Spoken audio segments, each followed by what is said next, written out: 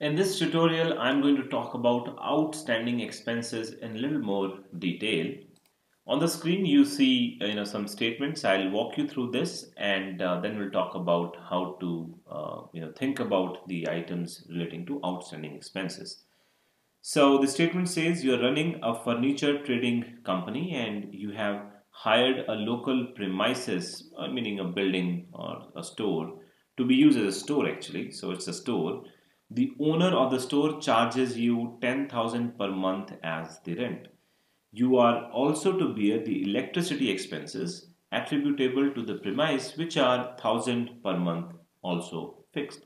So two types of expenses, uh, one rent and second is the electric uh, electricity bill. Every year you pay rent in the month of uh, April and October on the uh, first days of these months and you pay for the next six months. Uh, however, so let me first draw this in order to uh, illustrate this better. So financial year, which financial year are we talking about? We're talking about 15 and 16. So financial year 15 and 16 this is going to start on 2015 April 1 and it is going to end on 2016 March 31st and then you have you know 12 months in between. So 1 2 3 4 5 6 7 8 9 10 11 and 12 all right. So you are and then you pay on April 1st and October 1st okay. So April 1st you are going to pay something. And then May June July August September October so let me write October 1st here. You're going to pay something here. When you pay here you pay for the next six months and then you pay for the next six months. So in effect you're paying in advance. You pay for the next six months and that is how the rent market functions.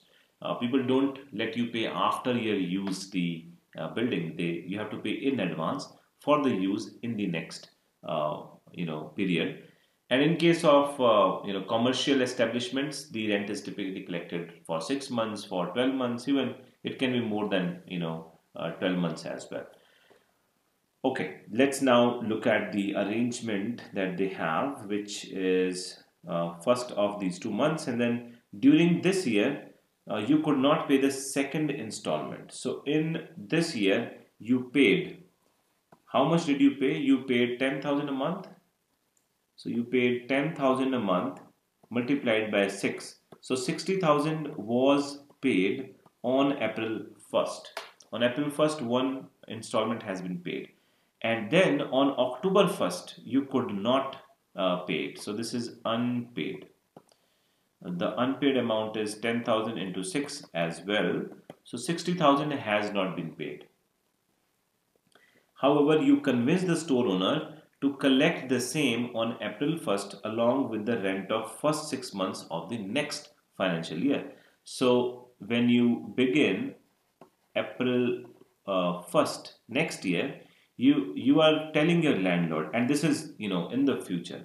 So you're saying you will pay uh, the this rent 60,000 for the previous six months plus you will pay rent for next six months. So in the next year you will pay 120,000 which will take care of half of this year and half of the uh, upcoming uh, year. So this is the arrangement you have arrived at. How should the above be accounted for in the final accounts? So the other expense we've missed is electricity expense, which are thousand per month, and you pay this every month. So let me write rent here, and the other one is electricity, which is thousand per month, and you don't pay. Uh, you do not pay six monthly, but you pay every month. So in total, you are paying twelve thousand, right? So one thousand into 12, 12,000. So there are two expenses, rent and electricity. Uh, electricity is being paid every month, 12,000 for the year and rent is paid six monthly and now you've not paid it. The question is in the final account, when we are preparing the final account, we are going to be uh, preparing the profit and loss account, profit and loss account, debit side and credit side. and there is going to be balance sheet as well. So balance sheet. Now in these statements how do we what amount do we write? We clearly know that rent and electricity both are going to be considered as an indirect expense. Uh, of course, you can again debate that this storage is for factory outlet. In that case, you can write it in the first half. But I'm going to assume the second half. This is a store of finished goods, sales store. So here we are going to show rent and we are going to show electricity. Electricity expense. So what amount is to be shown is the question. The amount to be shown in this year we have paid. So if you go cash basis, then you would say rent uh, that has been paid is 60,000. All right. And electricity expenses have been paid 12,000. So show this. However, we know that accounting is done on accrual basis. Does not matter whether you have paid or not you have used the store. The expenses have become due in this year. The benefit from the store has been derived in this year and due to that benefit you've been able to generate sales. You have to match the uh, revenue, the sale of this year to the expenses of this year. If you've not paid it, does not matter.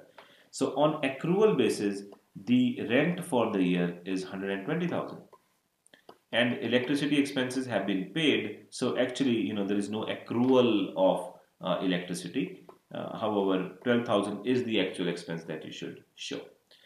Therefore the amount to be shown is going to be on accrual basis and not cash basis.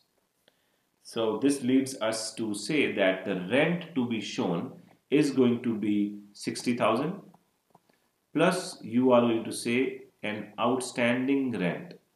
Outstanding rent of 60,000 is also there.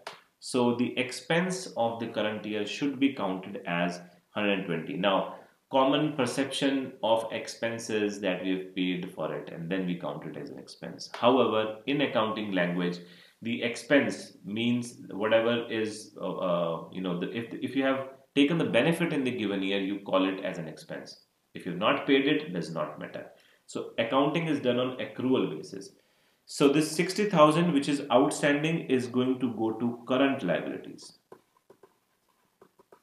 Current liabilities and we will say outstanding rent.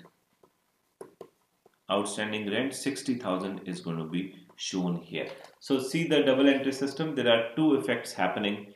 Uh, the rent which has been paid uh, is shown here and whatever has been paid will be taken out will be deducted from the cash account which will be on the you know debit side. But all of that is taken care of.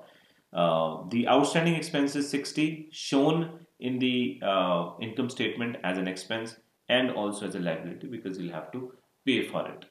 So electricity expenses on the other hand is 12000 they will be shown as they are all expenses paid for electricity bill. Nothing goes to balance sheet. Okay so this is how uh, you are going to treat the outstanding expenses. Any outstanding expenses will have to be uh, first of all recognized as an expense and shown in the income statement. Second, uh, the amount of outstanding expense has to be shown in the liability side under the current liabilities because you'll have to pay for it in the next uh, one year. Alright, I'll see you in another tutorial.